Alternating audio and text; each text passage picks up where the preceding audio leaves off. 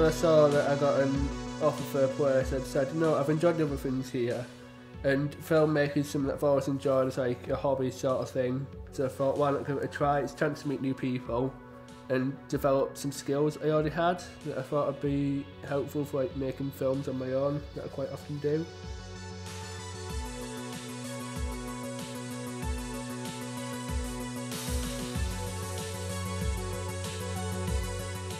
I uh, had uh, some control of um, uh, the script and I learned how uh, um, adapt to other people's uh, ideas.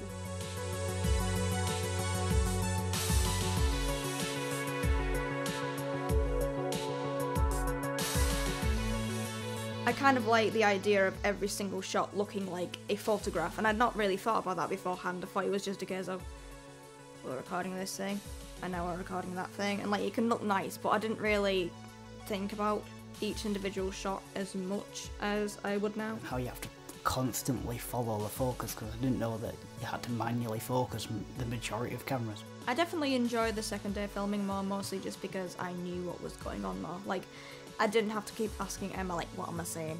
What am I saying? What's the bit that I'm meant to say when the clap? You know what I mean? Like, I know that I'm meant to say market and then they do the clap thing and then I say set. You know, I, I know that now. It was raining when we first shot the outside shooting, and it was it caused well not problems, but you had to take that into precaution because you had to cover up all the cameras and every other part of equipment. So I'll just remember this from you know how to time myself and better punctuality and stuff like that.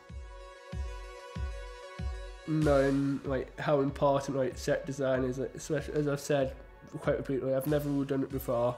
Like now I've actually worked and I can see how important it is and how much it can actually change the entire aspect of the film. That's a good environment uh, and it's very friendly and and uh, allows creativity. An important part of filmmaking is to feel like you are a part of the people who are making it. So that was nice. Well, I think it was nice. It was nice when I remembered what to say. I'd, I'd definitely recommend it to people who have an interest in film.